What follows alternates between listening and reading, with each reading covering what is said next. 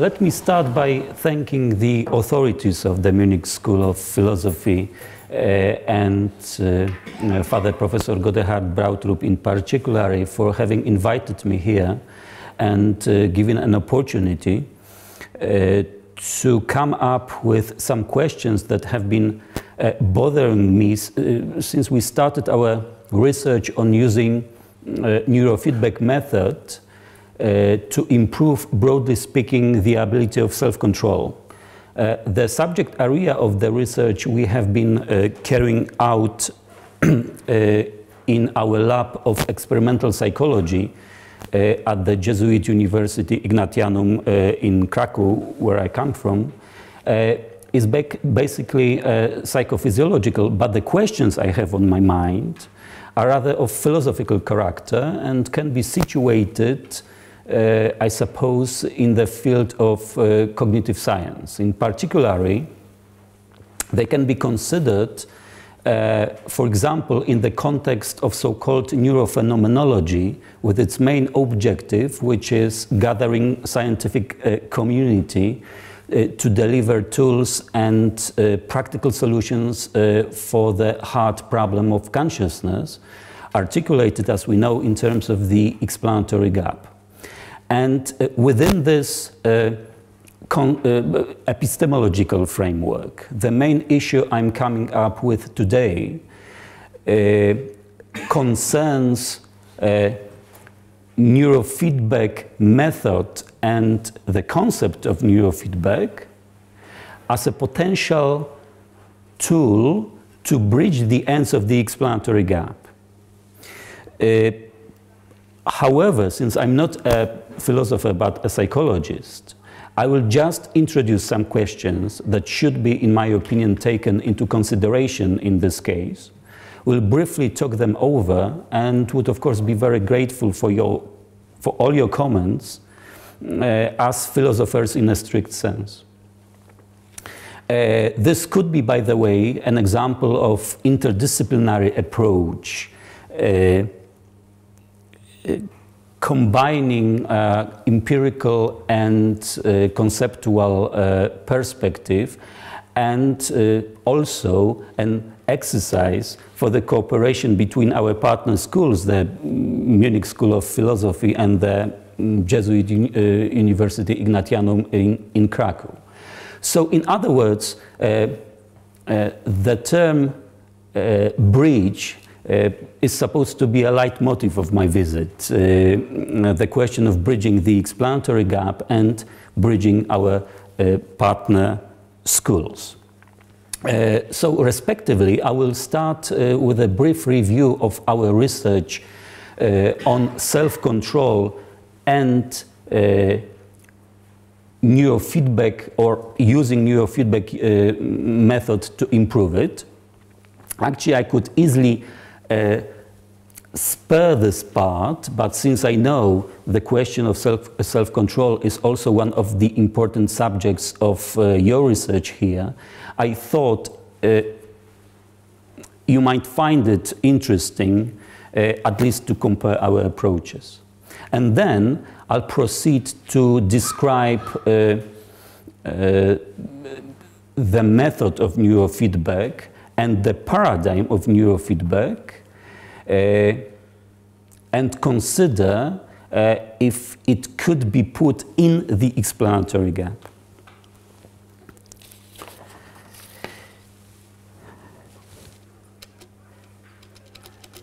As far as uh, self-control by and large uh, is considered, uh, in psychology, because as I said, my perspective today is going to be uh, mostly psychology, uh, uh, psychological. In psychology, uh, the question of self-control or self-control is understood basically, uh, I would say, in two ways. Uh, as a personality trait, which means that the ability to monitor, control, and regulate one's own behavior is an underlying essential aspect of psychological functioning, quite stable across the lifespan. Uh, the examples of such, a, such an approach are, as I put it here, for instance, Julian Rotter's theory of locus of control, C. Robert uh, Cloninger's uh, theory of character, or Deci and Ryan's self-determination theory of motivation. So this approach obviously is quite uh, uh typical for personality theories. But in psychology, uh, self-control is also understood as a cognitive process, obviously mostly uh, in the area of cognitive science. And in such cases, it's articulated in terms of executive functions uh, like inhibition, attentional control, flexibility, planning, and so on, uh, and uh, so, so, on. In our chair of general psychology, we have been studying self-control actually using uh, both approaches. Uh, we are just concluding, for instance, a, res a research project uh, on possible relation between uh, character and temperament. Uh, for example, does high reactivity as a temperamental trait correlate positively or negatively uh, with character, or there's no relevant relation between them? Or uh, does something that we called difficult temperament uh, that consists of high reactivity, uh, high sensitivity, or getting tired easily, uh, makes the process of development of character easier or rather more difficult. One would think that uh, uh, it's probably more difficult because uh, it's more difficult to control highly energetic behaviors, high, highly energetic uh, reactions, for, for, for example, strong emotions.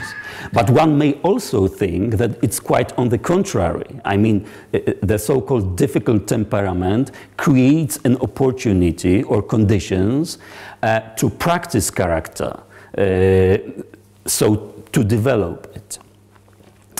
Uh, of course, uh, when we talk about possible conditions uh, determining self-control, there's no way to avoid mentioning biological theories uh, explaining uh, sorry, according to which uh, the quality of self-control as a personality trait or as an or as an executive functioning depends on uh, neural activity of some brain regions, mainly frontal lobes. For example, inhibitory deficits in cases of ADHD so attention deficit hyperactivity uh, disorder, are said to result from reduced arousal of uh, these brain regions measured uh, in terms of elevated so-called theta-beta power ratio, uh, which means higher ratio of slow wave activity uh, relatively to fast wave activity, as well as uh, reduced glucose metabolism comparing to the control group. And this is where neurofeedback comes in, actually. Uh, one of the most popular neurofeedback protocols uh, used in ADHD aims to decrease uh, theta activity and increase uh, beta activity. By the way, as a part of uh, another research project carried out in our lab of experimental psychology, we have also been using uh, this training protocol to test its effectiveness in improving inhibitory skills uh, of elderly people. Uh, we know from the literature uh, that uh, executive functioning or the ability of self-control, the quality of self-control drops in time.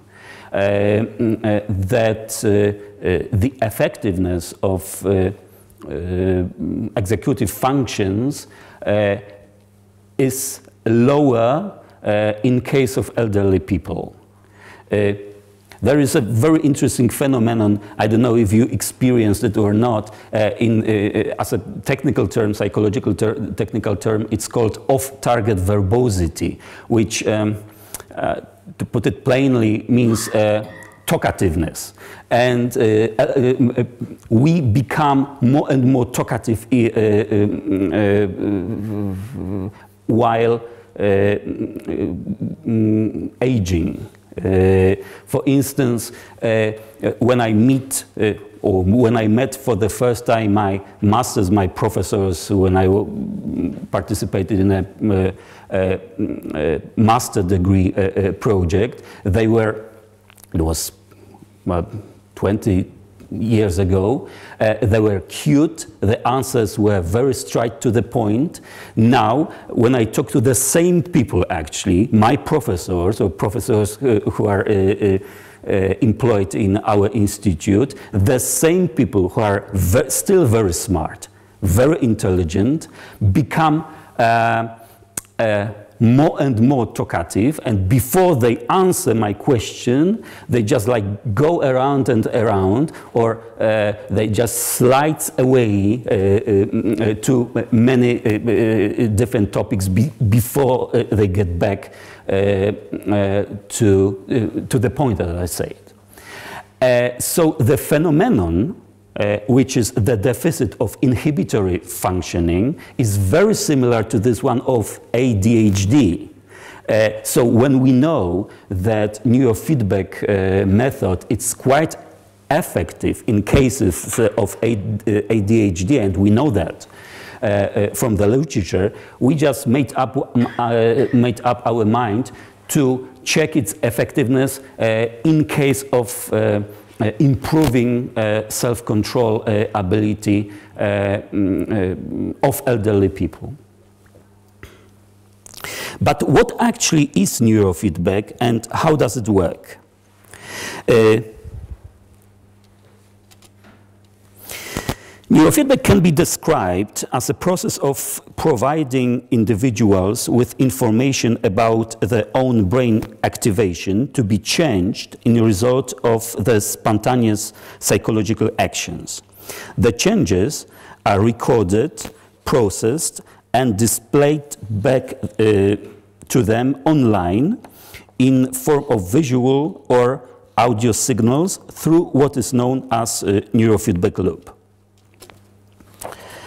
Uh, during neurofeedback session, or during neurofeedback sessions, participants are supposed to achieve a predefined threshold of uh, neural arousal by variations of the mental contents in order to find an exact mental state that correlates with the physiological marker.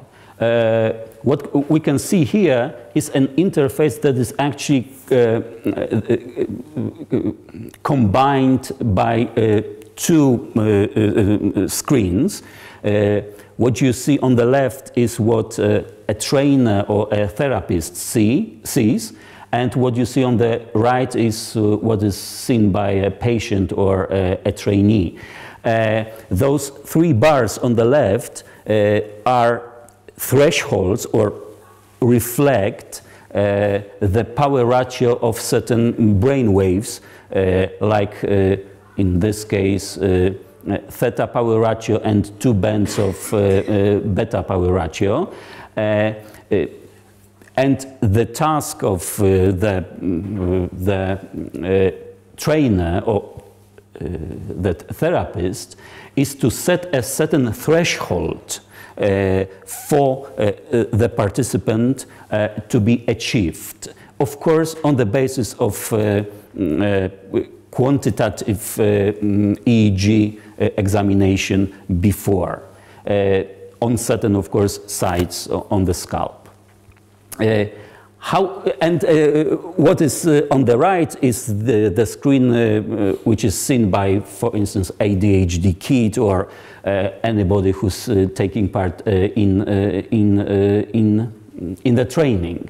every time the participant manages to hit this threshold, doing something, I will explain it uh, later, it's uh, rewarded uh, by moving the boat, for instance. So uh, uh, in this particular case, the participant's case is to, um, is to make the boat which is in the middle uh, to win the race because this boat uh, uh, reflects the beta power ratio, beta 1 power ratio, which is the most desirable to improve in this case. Uh, the participants, for example, think about, imagine, or remember different things or evoke different emotions and are then informed about repercussions the psychological activity has on the psychological, uh, sorry, on the physiological conditions and can learn to establish a link between the two domains to be able to bring them about willfully without the device in future. So uh, uh, the point of the training actually uh, is for the participant uh, find out what to do psychologically uh, to get a reward, uh, to be able to sustain the same, the same state, mental state, uh, in reality without the device later on. But to make ends of this neurofeedback loop meet, the brain-computer interface also serves to mirror mental states themselves, although from the side of uh, the physiological counterparts.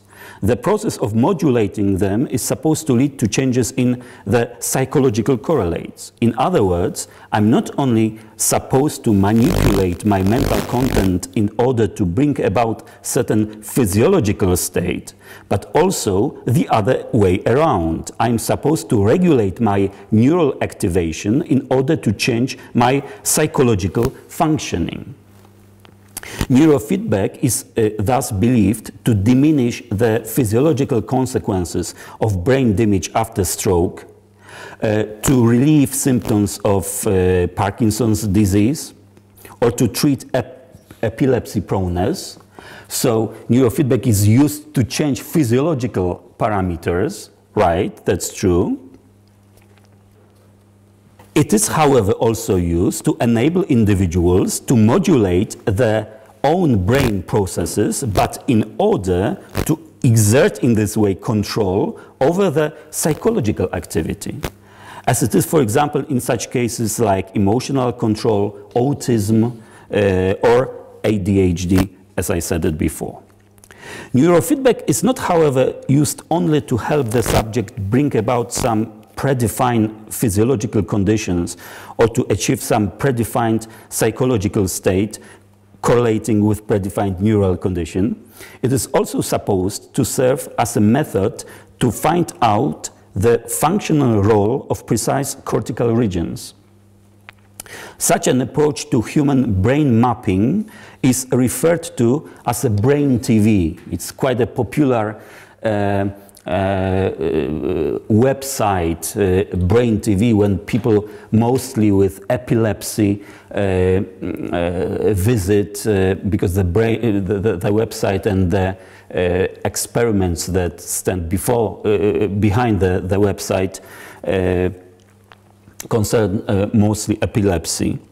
Uh, it uses a setup that consists of intracerebral EEG recording system and a, and a display which allows online monitoring of the reactivity of precise neural populations uh, in various psychological circumstances. In this way, it is possible to answer the question which specific cognitive events evoke certain neural responses and which do not, and to establish precise correlations. For instance, uh, when uh, hypothetic, uh, hypothetically I'm an uh, epileptic patient and I'm switched on or connected to this uh, device, I can uh, compare different content of my mm, cognitive functioning and to see which of this content makes me closer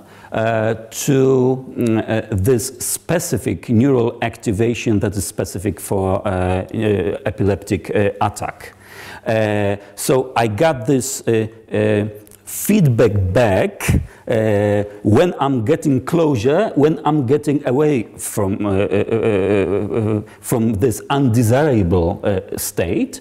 And in this way, I can learn actually to avoid, psychologically, to avoid getting close to epileptic seizure In this way, during neurofeedback session, the brain-computer interface functions like a mirror in which I simultaneously see myself in third-person perspective, in bodily or physical form, or neurophysiological form, I should rather say, and experience mental states of myself in first-person perspective. In the process, both aspects turn out to mutually constrain each other in the course of the individual's actions. Uh, there is a small but influential uh, literature uh, suggesting that neurofeedback technology and even something called the neurofeedback paradigm uh, can help to meet the main objective of one of the uh, latest proposals how to address the hard problem of consciousness, the proposal that his co-founder Francisco Varela called uh, the project of naturalizing phenomenology or just neurophenomenology. I have neither enough expertise nor enough time today to analyze if uh, the objective of neurophenomenology is really to solve the hard problem and to close the explanatory gap or just to promote certain ways for more practical marrying between domain of experience and neuroscience. There serious doubts about it. My aim now, anyway, is to discuss whether the neurofeedback paradigm can help to close uh, the, explanatory gap, the explanatory gap uh, in its classical meaning. As we know, the, uh, uh, the explanatory gap, which is the hard problem formula introduced by Joseph Levine, refers to a discrepancy between the phenomenal character of experience and the physical nature of the brain. The phenomena of human experience appear different. They look different uh, from the brain processes. No or are experienced different, no matter how strictly they mutually constrain each other and are articulated by different categories. Moreover, the subject's mental events, which relate to brain processes, can be approached in either of two ways, in first person and third person perspective. Subsequently, as private ones, they may be given to mine uh, sorry, they may be given to me or they may be given to be mine exclusively, which means it, it is me and only me who can directly con ex exert control on them. Uh, the other way is indirect. In this perspective, mental events take place in the brain, which is, however, given to me from the outside only as a solid body. That is why I can never penetrate it to get in touch with them directly. I can never penetrate the brain of my patient uh, or the brain of the participant of our experiment to get in touch with the mental states that are suppose, supposedly mm, uh, uh, take, taking place uh, in it. That is, uh, uh, neurofeedback method makes it possible to monitor the subject's online neural activity as a response to the psychological actions. Moreover, in this approach, the subjects are given a more active role in research process since they can provide scientists with a first-person accounts on the mental activities which are considered as relevant research data. Uh, and this is according uh, to some scholars enough to effectively address the hard problem. Uh, what you can see here uh, is not very rare actually. There is small but quite influential uh, literature suggesting that the, that, that the technology of neurofeedback uh, um, and some, even something that we can call the neurofeedback paradigm can really help to close the explanatory gap.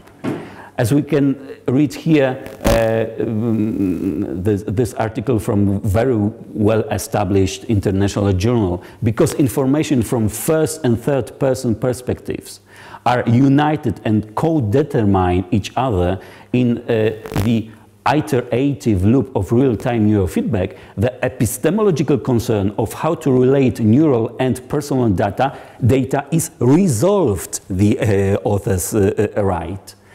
A meaningful link between subjective and uh, neuroscientific data is created through this uh, causal relationship. Well, as I said, I'm not a philosopher, but I would not subscribe to this point of view because of at least some questions that uh, mm, can only be briefly underlined here. The first doubt concern, my first doubt uh, concerning such an approach or such an opinion that uh, we have actually found the tool to close the explanatory gap. My first doubt concerns the scientific status uh, uh, Uh, uh, of first-person uh, uh, accounts. It is, of course, not my intention to conclude the debate on the value of phenomenal data in science, I only intend to point out that neither statistically relevant correlations between subjects' first-person accounts on the mental contents and concomitant neural conditions, nor any disciplined methods for the first-person study of consciousness are enough to avoid reservations concerning the scientific value of introspective approaches. And neurofeedback does not uh, give us anything new uh, in this matter. The neurofeedback paradigm does not provide any new ways to rise up the curtain of subjects' privacy. To put it plainly, uh, the changes of neural activity resulted from putative mental processes reported by subjects are not an immediate and certain proof that they really encounter what they report on. Uh, uh, frankly speaking, uh, I don't have, I didn't have any tool to be sure that my uh, patients uh, really uh, experience what they are talking about, they ex are experiencing at the moment. Neurofeedback uh, does not provide me uh, such a tool, such a, a, a lying detector, for instance. In other words, the researchers have an immediate access to the subject's neural processes, but only indirect uh, insight uh, into the mental states. It was like this before, and the problem still remains. Apart from uh, this discontinuity between first and third person perspective uh, on the neurophenomenological uh, relation, however, sorry, however mutual uh, constraint it is, neurofeedback also turns out insufficient to explain intrinsic difference in nature of neural and phenomenal data. The subject's accounts of the conscious experience and the neural counterparts discovered in the result of neurofeedback implementation remain for experimenters, for scientists, as different as ever. Pain is not the firing of C fibers as it was not before. Uh, so uh, neurofeedback uh, uh does not provide us with a tool uh, to overcome this discrepancy between what I see in my brain, even if this is my brain, and what I experience. Uh, so the second point of the hard problem formula, again, still remains. In the face of such essential obstacles to overcome this discontinuity between first person and third person perspectives, as well as between first person and third person data, neurofeedback can be still considered as a useful tool to carry out a potentially highly effective heuristic strategy in finding a, a reciprocal causation between neural and mental events. That's true, of course.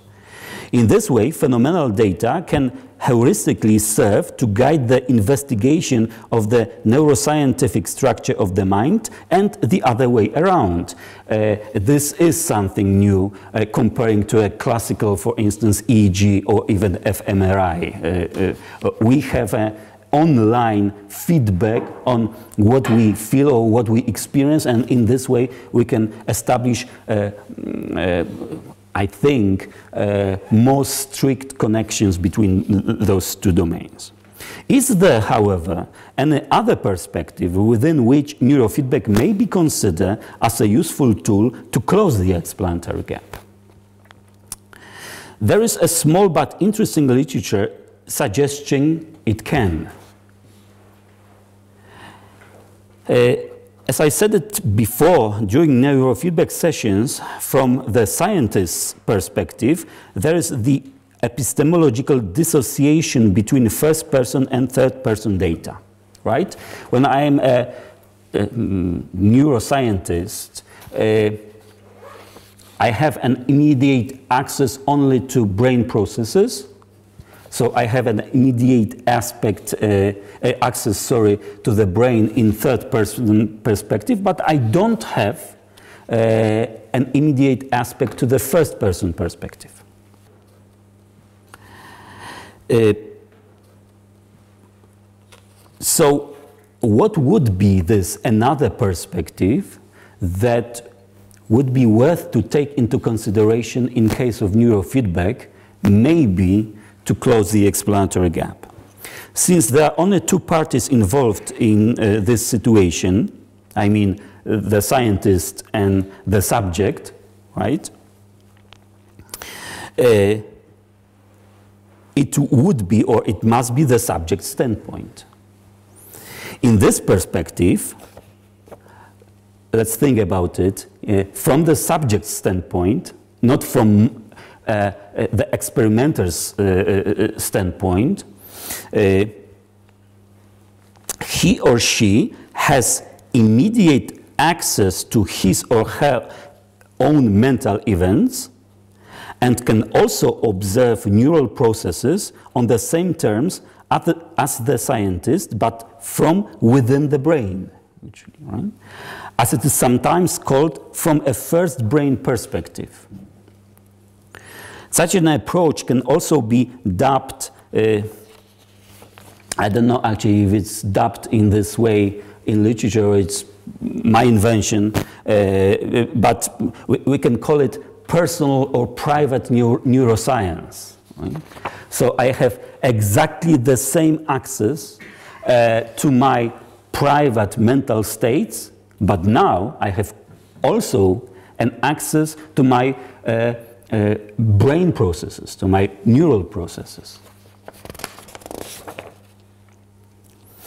Does it mean that having immediate access to my mental states as well as to my brain through neurofeedback, I can loop neurophenomenological circulation in the way to make it possible to close explanatory gap by building some kind of first-person neuroscience. This is another term for, for, for, for, such an approach, first-person neuroscience.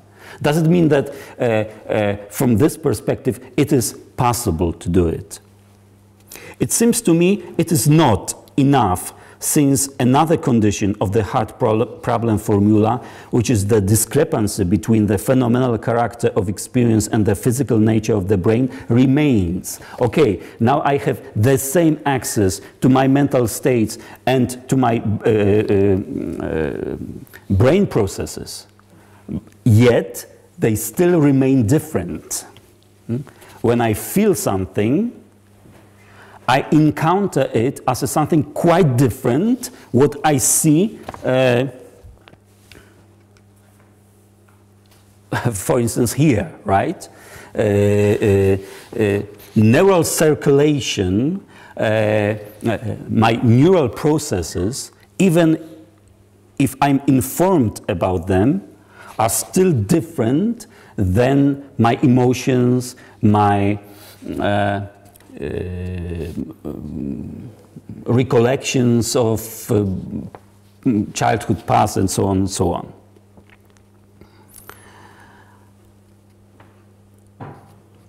To recall neurophenomenologists, closing the explanatory gap would require such a framework within which phenomenal properties will be continuous with the properties accepted by the uh, neural sciences. And the link between both will be meaningful.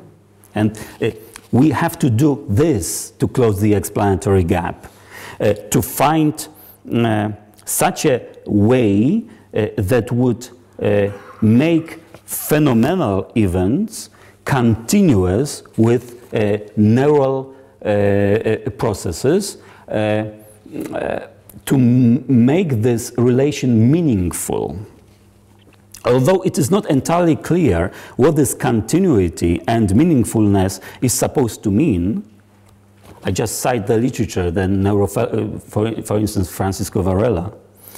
Uh, although it's not exactly clear what they mean by that, I presume it must have something to do with some common characteristics both domains, neural and phenomenal, would share.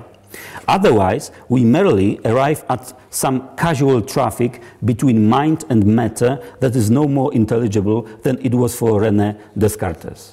Right? But has neurofeedback got anything to do with it?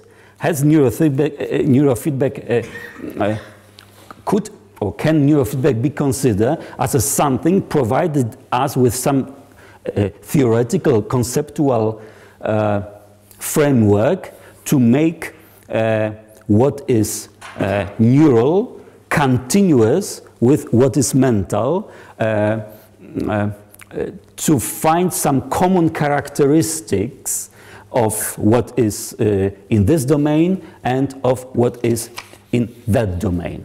What would neurofeedback have to do with this? Well, actually, I think it may turn out it does.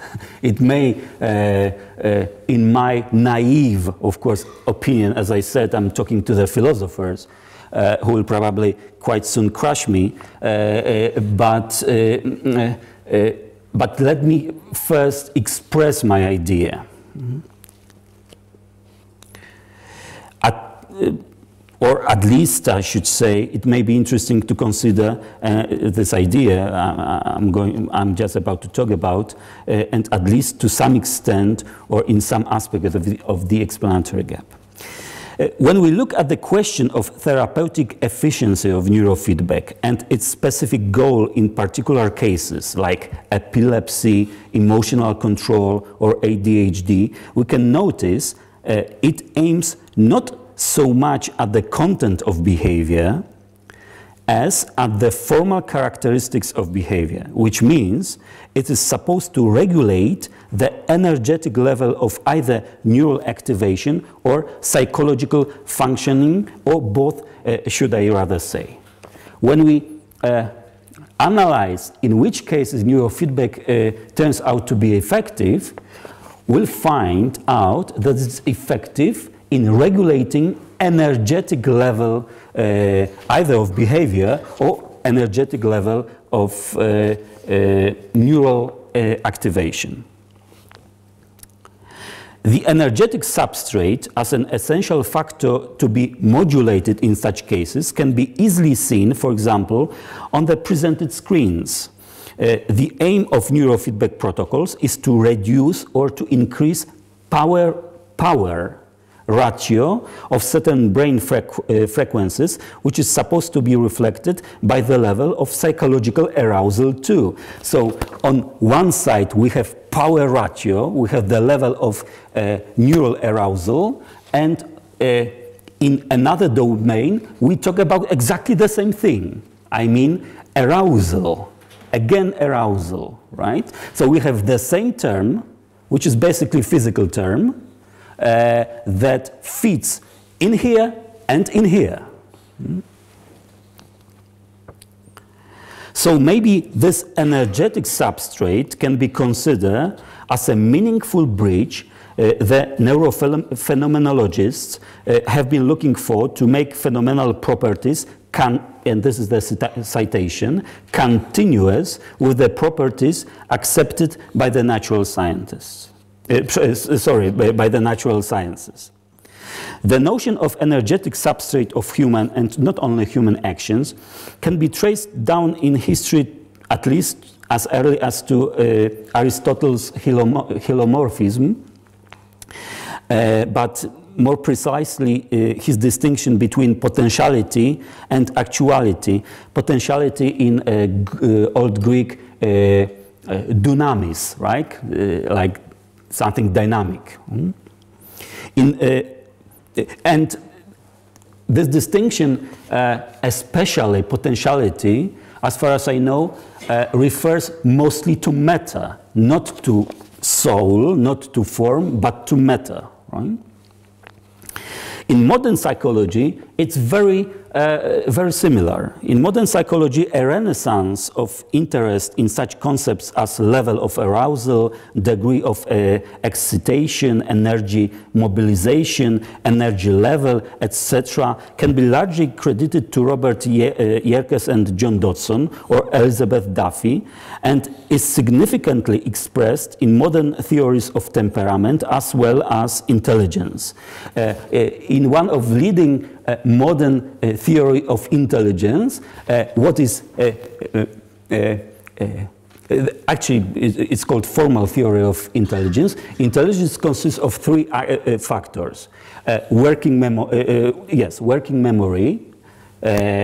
we know that, but the level of excitation without arousal, uh, we wouldn't be able to put to work our working memory. Uh, so it does not only concern uh, uh, um, uh temperament, but other psychological uh, terms too. Not to mention theories referring to such clinical conditions as mood disorders. Apart from those concepts that refer to rather unspecific overall level of arousal, as an energetic aspect of various mental actions, there is also a significant amount of ongoing uh, research concerning the role of energetic aspect of specific mental processes, such as self-control. One may, for instance, point out to the strength model of self-control proposed by Roy, uh, Roy Baumeister and associates, uh, and the title of one of the prominent articles, which reads and this is the, the whole title, uh, as you probably know because you probably read it. Self control relies on glucose as a limited energy source. Subtitle Willpower is more than a metaphor.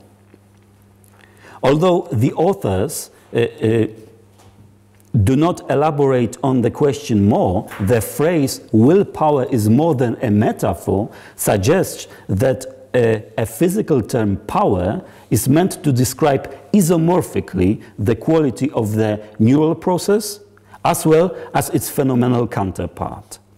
In other words, it's formally the same thing, given, however, from two different sides, from the outside and the inside of the conscious organism.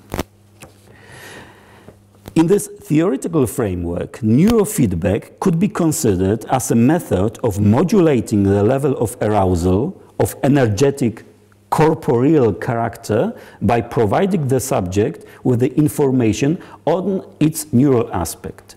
I would be able to exert control on my brain activity, although it is given from outside in neurofeedback mirror, because the neural processes are bodily expressions of equally corporeal mental processes which are experienced and directly act upon uh, within the inner space of my body. There are just two sides, private and objective, of the same body which belongs to the only one agent who is myself. In this way, through neurofeedback, I encounter my corporeal self from the sides, uh, sorry, from two sides at the same time, uh, sustaining neurophenomenological continuity. Just like, uh, just like in the mirror. Neurofeedback just uh, acts like a mirror uh, that shows me exactly the same what I experience from the inside uh, uh out, but from the outside in. But we talk about the same thing. I, I mean uh, corporeal uh, activation, energy of, of behavior and energy of neural processes that condition it the gap is linked meaningfully by this corporeal uh, uh, substrate, uh, in my uh, humble opinion, and I would, uh, th th that would be it as far as uh, I'm concerned. Thank you very much.